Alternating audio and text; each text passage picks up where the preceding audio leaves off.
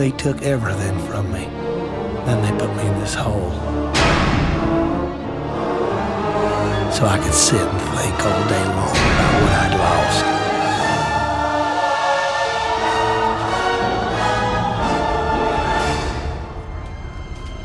My freedom, my wife, even my pride. It was hard to know which one I missed the most. Sometimes when I'm locked up, I swore I heard the man with the plane coming back to get me.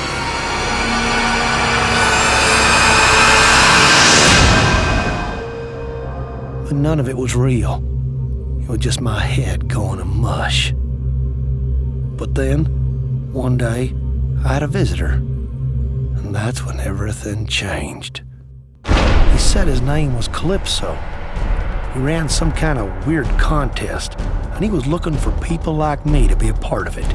He told me if I won, I could have the one thing my heart desired. I may be no rocket scientist, but I know opportunity when I see it. That pilot had taken a piece of my life and twisted it all around. How could I refuse the chance for revenge?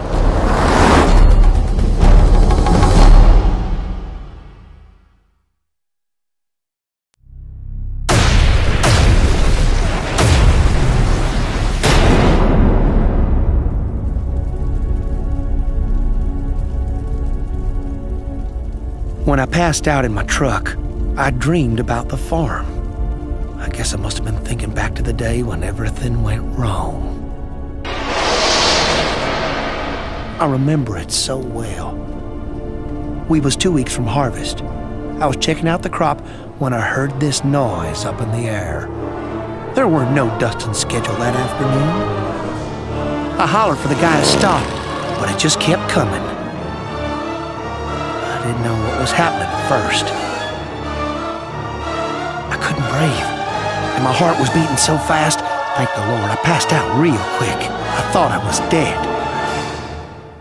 I must have been out for hours, and when I woke up, well, my God, what had happened to me? My first thought was to get home to Annie. She was real smart. She'd figure out what to do. But when I got there, I guess she'd already figured out something else. I heard them laughing, talking about how they'd go the next week try to collect the life insurance. Everything hurt. My face, my mind, my heart. I remember grabbing for the closest thing I could find. I just lost it. I'd hunt that pilot down sooner or later. But for now, it was strictly between me and Annie.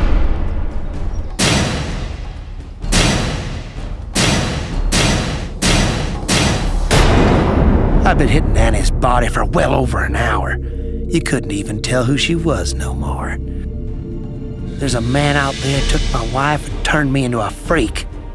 When I win this contest, he's gonna pay for what he done.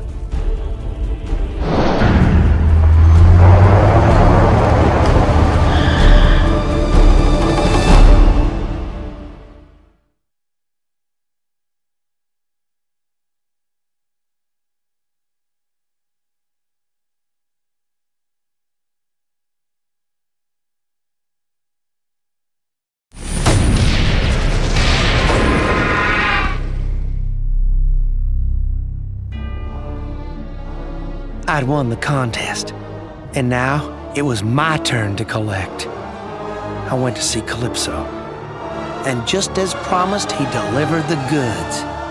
I knew right from the start he'd get me the revenge I was craving. When we went back to the farm, Calypso said he had a little surprise for me. Somehow he'd done it. He'd found that bastard who made me kill Annie. Son of a bitch even brought his plane with him. Calypso said all I had to do to get my prize was step aboard.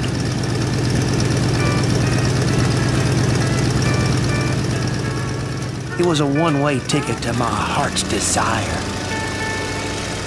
That pilot had taken everything from me.